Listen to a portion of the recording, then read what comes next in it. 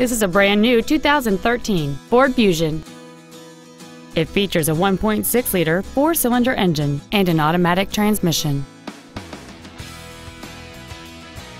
Its top features and packages include a navigation system, a remote start feature, XM satellite radio, the appearance package, aluminum wheels, and traction control and stability control systems.